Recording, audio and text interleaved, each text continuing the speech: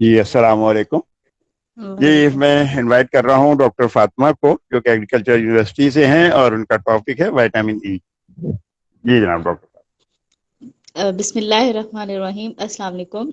आज का जो मेरा टॉपिक है मैं आपको बताऊँगी कि विटामिन्स की क्या इंपॉर्टेंस है ठीक है और उनका हमारी बॉडी के अंदर जो है वो क्या इंपॉर्टेंट फ़ंक्शंस जो है उसको परफॉर्म करते हैं।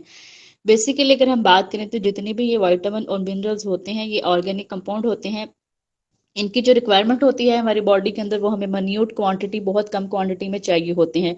जो जितने भी ये हमारे जो मेजर मील होते हैं, जैसे कार्बोहाइड्रेट प्रोटीन फैट इनके जो प्रोसेस वगैरह को स्टार्ट करने के लिए वाइटामिन और मिनरल्स जो है, उन उनका जो है वो रोल होता है। ये मोस्टली वाइटामिन जो है और मिनरल्स जो है, वो एज अ को फैक्टर के तौर पे जो है, वो हमारी बॉडी के अंदर जो है, वो एज को फैक्टर के तौर पे काम करते हैं। तो बेसिकली अगर हम बात करें वाइटामिन जो है वो दो तरह के होते हैं। एक होते हैं फैट सोलिबल वाइटामिन एक होते हैं water soluble vitamin fat soluble के अकॉर्डिंग अगर हम बात करें तो वो वाइटामिन ए है डी है ई e है और के है। ये जितने भी फैट सोलिबल वाइटामिन होते हैं, ये हमारी बॉडी के अंदर जो है वो स्टोर हो जाते हैं लीवर में।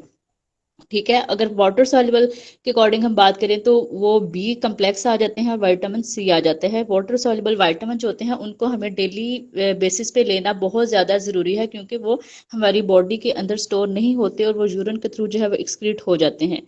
तो बेसिकली जो मेरा आज का टॉपिक है, वो मैं विटामिन ई e के बारे में डिस्कस करूँगी कि विटामिन ई e का जो है, वो क्या रोल है हमारी बॉडी के अंदर। विटामिन ई e जो है, ये फैट सॉल्युबल विटामिन है, ठीक है? सबसे पहले अगर हम बात करें तो ये इसका बड़ा इंपॉर्टेंट रोल है कि ये एंटीऑक्सीडेंट के तौर पे बॉडी के अंदर जो है बहुत इंपॉर्टेंट रोल प्ले करता है। सबसे पहले अगर हम पता होना चाहिए कि जब जो है वो हमारा लाइफस्टाइल जो है वो बेटर नहीं होता मींस कि अगर हम अपनी डाइट में बहुत ज़्यादा फास्ट फ़ूड इंटेक कर रहे हैं बहुत ज़्यादा ड्रग्स का इस्तेमाल कर रहे हैं बहुत ज़्यादा जो है वो हम फ़िज़िकल एक्टिविटी लेवल नहीं है ठीक है? या, या कोई डिज़ीज़ वगैरह है कोई इस तरह का अगर हमारा लाइफ बेटर नहीं है तो हमारी बॉडी के अंदर जो है वो क्या होता है फ्री रेडिकल जो है वो ज़्यादा बनना शुरू हो जाते हैं। लाइक अगर हम बात करें जैसे कि जो ऑक्सीडेटिव स्ट्रेस जो है वो ज़्यादा होना शुरू हो जाता है रिएक्टिव ऑक्सीजन स्पीशीज जो है वो ज़्यादा बनना शुरू हो जाती हैं जब हमारा लाइफस्टाइल बेटर नहीं होता। तो होता ये है कि जो रिएक्टिव ऑक्सीजन स्पीशीज होती हैं फ्री रेडिकल्स जो होती हैं ये अनप्योर्ड इलेक्ट्रॉन्स होते हैं और ये क्या करते हैं कि हमारे जितनी भी ये मेम्ब्रेन्स वगैरह होती हैं सेल की ठीक है और जो जितनी भी सेल जैसे हम बा, बा, बात करें तो मेम्ब्रेन्स होती हैं जो कि फास्फोलिपिड वगैरह से बनी होती हैं तो वहाँ पर जाकर ये क्या क्या कर देती हैं फ्री रेडिकल्स जो है वो उन मेम्ब्रेन्स को डैमेज कर देती हैं। ठीक है? और यहाँ पे क्या आता है कि वो जो हमारी मेम्ब्रेन क्या करती है, उनकी डिस्ट्रक्शन जो है वो करना स्टार्ट कर देती हैं। ऑब्वियसली अब हमारी बॉडी के जितने भी ये आर्गन्स वगैरह हैं जैसे उनको उनकी जो मेम्ब्रेन वगैरह होती है, अगर उसमें डिस्ट्रक्शन वगैरह होगी तो वहाँ पे ऑक्सीडेशन का प्रोसेस जो है, वो स्टार्ट हो जाएगा। लाइक अगर हम बात करें लाइक जितने भी हमारी ब्लड वेजल्स हैं, अगर वो उनकी मेम्ब्रेन जो है, वो रेक्टिव ऑक्सीजन स्पीशीज जो है फ्री रेडिकल जो है, उनको डैमेज करेंगे, वहाँ पे ऑक्सीडेशन होगी, वहाँ पे जो एलडीएल है, वो उसकी जो लो डेंसिटी लिपिड प्रोटीन है, उसकी ऑक्सीडेशन होगी, वहाँ से फिर आहिस्ता आहिस्ता जो है, वो फैट एक्यूमुलेट होना शुरू हो जाएगा, और उसके साथ साथ जो है, वहाँ पे क्लॉट क्लॉट फॉर्मेशन हो होगी और वहाँ पे प्लैग बनना शुरू हो जाएगा। जैसे प्लैग बने प्लैग बनेगा, ठीक है तो वहाँ पे क्या हो जाएगी ब्लड जो है वो प्रॉपरली फ्लो नहीं करेगा। जब ब्लड जो है वो फ्लो नहीं करेगा तो वहाँ पे क्या रहेगा अर्थीरोसिक्लोरोसिस हो जाएगा और आगे से फर्दर हार्ट अटैक वगैरह के चांसेस होंगे। मीन्स के ये एक मतलब कि हमारे लाइफ ना बेटर होने की वजह से dietary life physical activity level और जो भी हमारा स्लीप वेक साइकिल जब हमारा हार्मोन इम्बेलेंस होता है तो उसकी वजह से जब हमारी बॉडी के अंदर स्ट्रेस ज़्यादा होने की वजह से ऑक्सीडेटिव स्ट्रेस की वजह से कितना जो है वो जो है वो हमारी हेल्थ पे जो है वो इफ़ेक्ट होता है। तो वाइटामिन के ई के अकॉर्डिंग अगर हम बात करें तो वाइटामिन ई जो है वो एज ए एंटीऑक्सीडेंट के तौर पे काम करता है। स्पेशली अगर हम बात करें तो जैसे कि हमने लास्ट डिस्कस किया था कि वाइटामिन सी वो भी एज ए एंटीऑक्सीडेंट के तौर पे बहुत बहुत अच्छा इसका इंपॉर्टेंट रोल था। और वाइटामिन ई वाइटामिन सी और सेलिनियम जो है ये मेन एक ऐसे जो है वाइटामिन सी और वाइटामिन ई जो है, ये हमारे वाइटामिन ऐसे दो वाइटामिन है, जो कि एंटीऑक्सीडेंट के तौर पे काम करते हैं और सेलेनियम जो है, वो मिनरल है, जो कि एंटीऑक्सीडेंट के तौर पे काम करता है। तो अब वाइटामिन ई ने क्या करना होता है कि जब हम अपने डाइट के अंदर वाइटामिन ई वाली डाइट को इंक्लूड करते हैं तो ये हमारे बॉडी के अंदर एंटीऑक्सीडेंट हमारा जो स्टेटस होता है, इसको इम्प्रूव करता है। तो एंटीऑक्सीडेंट का काम क्या होता है कि उसने हमारी बॉडी में जो ऑक्सीडेटिव स्ट्रेस जो कि फ्री रेडिकल्स प्रोड्यूस हो रहे हैं, जो कि हमारी मेम्ब्रेन्स वगैरह को डैमेज कर रहे हैं, हमारे ऑर्गन्स वगैरह को डैमेज कर रहे हैं, उससे प्रिवेंट करना होता है। जितनी ज़्यादा हमारी डाइट रिच होगी एंटीऑक्सीडेंट से, उतने जो है वो हमारी बॉडी में से ये जो स्ट्रेस है ऑक्सीडेटिव स्ट्रेस उससे कम क्या करेगी, उसको कम करेगी। इसके अलावा अगर हम बात करें तो यहाँ पे वाइटामिन ई के अकॉर्डिंग हम बात करें जितने ज़्यादा हमारी बॉडी के अंदर ये जो है सेल मेम्ब्रेन को प्रोटेक्ट करेगी इसके अलावा जितना ज़्यादा हमारी बॉडी के अंदर जो है वो एंटीऑक्सीडेंट होंगे अगर हमारी अच्छी डाइट होगी हमारी इम्यूनिटी जो है वो इतनी ज़्यादा अच्छी होगी ठीक है?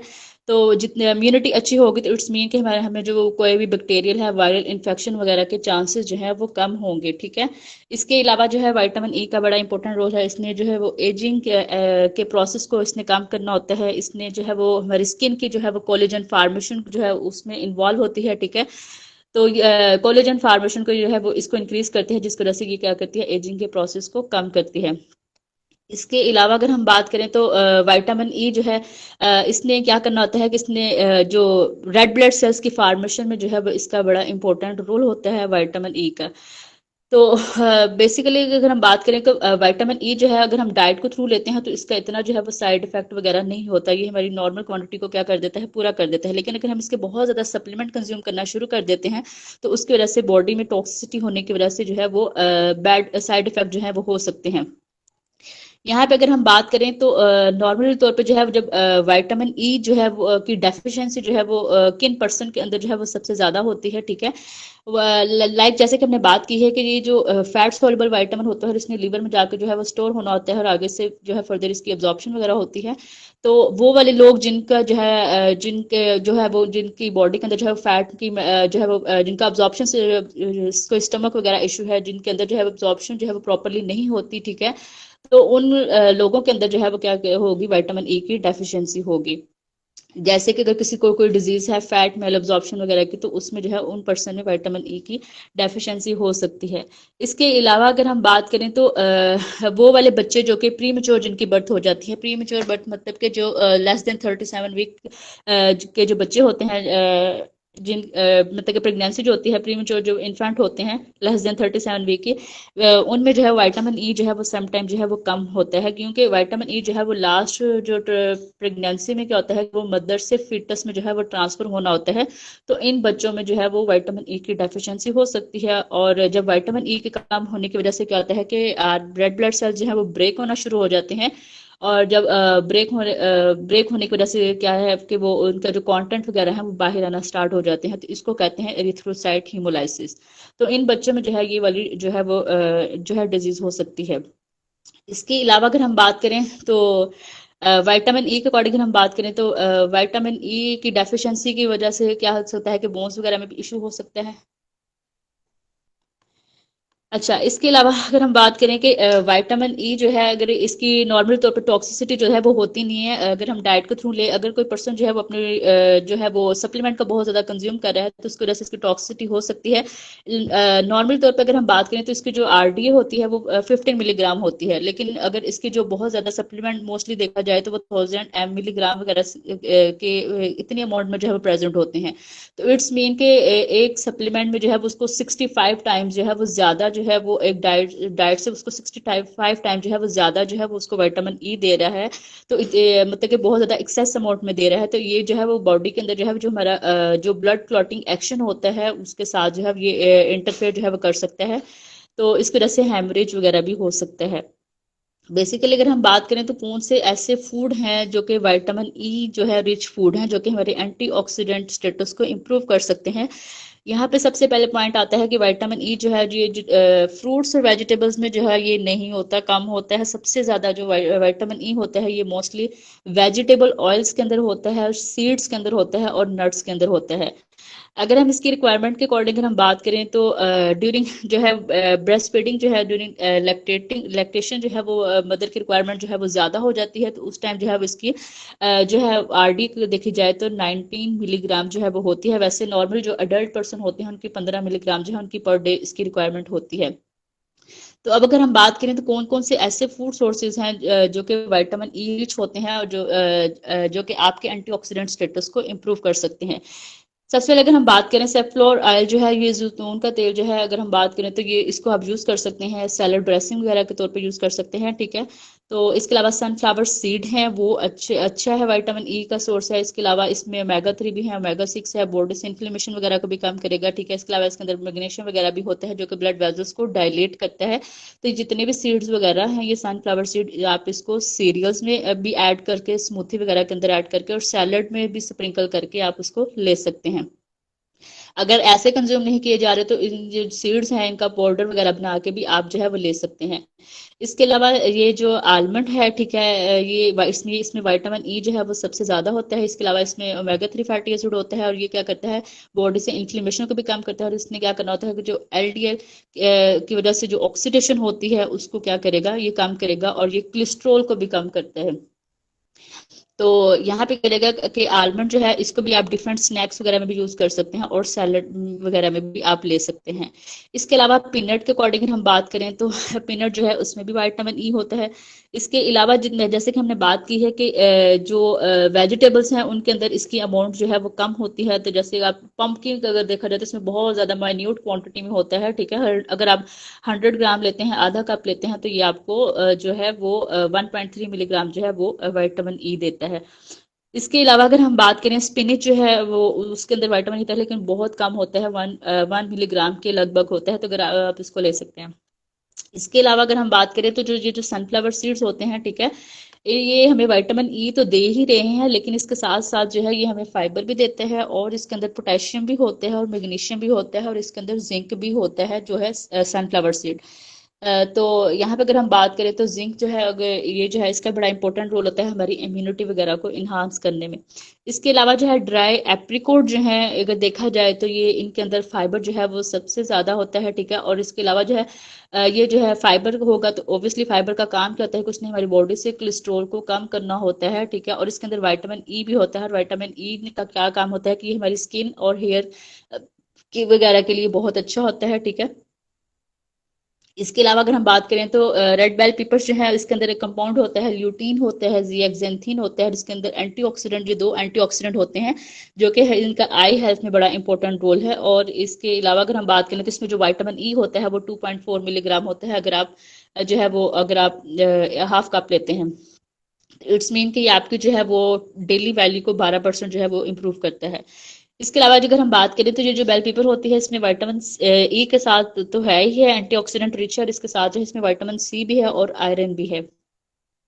नेक्स्ट अगर हम बात करें तो आलमंड के अकॉर्डिंग हम बात की थी कि आलमंड जो है उसमें विटामिन ई जो है वो सबसे ज़्यादा होता है। इसके अलावा आलमंड में जो है ये फाइबर प्रोटीन भी है और इसके अलावा मैग्नीशियम भी होता है और प्रेजेंट जो है वो पोटेशियम जो है वो भी प्रेजेंट होता है। इसके अलावा कुछ ऑयल के अकॉर्डिंग हम बात करें तो जो कि जिनके अंदर वाइटामिन ई जो है वो सबसे ज़्यादा होता है। एक वीट जम ऑयल है, ये ये वाइटामिन ई जो है इसमें सबसे ज़्यादा होता है।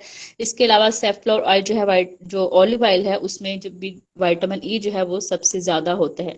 फ्रूट्स के अकॉर्डिंग अगर हम बात करें तो एवोकेडो जो है उसके अंदर जो है वो वाइटामिन ई जो है वो प्रेजेंट होता है। अगर आप जो है अगर, लेकिन जितने भी फ्रूट्स और वेजिटेबल्स होते हैं उनके अंदर वाइटामिन ई सबसे कम होता है। जैसे कि अगर हम बात करें एवोकेडो है तो अगर आप ये आधा कप एवोकेडो लेते हैं तो आपको टू मिलीग्राम जो है वो वाइटामिन ई जो है वो देता है। ठीक है? अच्छा इसके अलावा अगर हम बात करें तो यहाँ पे जो पॉइंट आता है बटर जो है, उसके अंदर जो है वाइटामिन ई जो है, वो प्रेजेंट होता है। इसके अलावा उसके अंदर जो है वाइटामिन ए भी होता है वाइटामिन सी भी होता है फाइबर भी होता है और पोटेशियम भी प्रेजेंट होता है। इसके अलावा अगर हम बात करें तो ब्रोकिलाई जो है वो उसके अंदर विटामिन ई e भी होता है और उसके अंदर जो है वो ब्रोकिलाई जो है वो एक डिटॉक्स फ़ूड है। ठीक है, ये आपकी बॉडी से क्या करेगा? टॉक्सिन वगैरह को भी इम्प्रूव रिमूव करती है और इसके अलावा जो है ये एज ए एंटी इन्फ्लेमेटरी के तौर पे भी काम करती है और जितना भी बैड कोलेस्ट्रोल होता है उसको बॉडी से रिमूव करते हैं। तो इसके ब्रोकिलाई के अंदर भी वाइटामिन ई e जो है वो प्रेजेंट होता है। इसके अलावा अगर हम बात करें तो मैंगो के अकॉर्डिंग अगर बात करें तो मैंगो में भी विटामिन ई e होता है, लेकिन बहुत ज़्यादा माइन्यूट क्वांटिटी में प्रेजेंट होता है मीन्स के कम क्वांटिटी में प्रेजेंट होता है। अगर आप जो है वो आधा कप लेते हैं तो आपकी छह परसेंट जो है वो डेली वैल्यू को पूरा करते है। इसके अलावा बैरिस के अकॉर्डिंग हम बात करें तो बैरिस में जो है वो कंपाउंड होता है एंथोसाइनिन होता है, जो कि आपकी बॉडी से क्या करता है ऑक्सीडेटिव स्ट्रेस को कम करता है ये इसमें एंटीऑक्सीडेंट जो है वो ज़्यादा होते हैं। ठीक है तो इस अगर आप जो है, अगर आप हाफ़ हाफ़ कप लेते हैं बैरिस तो आपकी तकरीबन फोर्टीन परसेंट जो है, चौदह परसेंट जो है ये सिर्फ़ वाइटामिन ई की रिक्वायरमेंट को पूरा करता है। तो इसके अलावा अगर हम बात करें कि वाइटामिन के अकॉर्डिंग हम बात करें तो वाइटामिन ई ने क्या, जैसे कि हमने बात की थी कि इसने ऑक्सीडेटिव स्ट्रेस को कम करना था तो जितनी भी ऑक्सीडेटिव जितना बॉडी के अंदर ऑक्सीडेटिव स्ट्रेस होगा, उतना ज़्यादा वो क्रोनिक डिजीजेस के चांसेस को इंक्रीज करेगा। लाइक अगर हम बात करें कैंसर है डायबिटीज़ है हाइपरटेंशन है कार्डियोस्कुलर डिजीजेस है तो अगर आप जो है अपने डाइट के अंदर जो है वाइटामिन ई वाइटामिन ई सी के सोर्सेज को ऐड करेंगे तो ये आपकी बॉडी से जो है इसको फ्री रेडिकल्स को क्या करेगा, कम करेगा तो आप जो है इन डिजीजेस से क्या कर सकते हैं प्रिवेंट कर सकते हैं। इसके अलावा अगर हम बात करें तो एस्पेरेगस जो है, उसके अंदर भी वाइटामिन ई प्रेजेंट होता है, लेकिन माइन्यूट क्वांटिटी में जो है, वो प्रेजेंट होता है। तो आज का टॉपिक इतना ही था बस। Thank you